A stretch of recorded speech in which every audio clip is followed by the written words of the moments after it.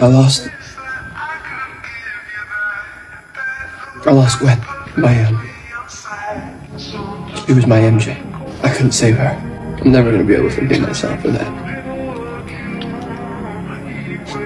But I carried on, tried to um. Try to keep going, try to keep being the uh.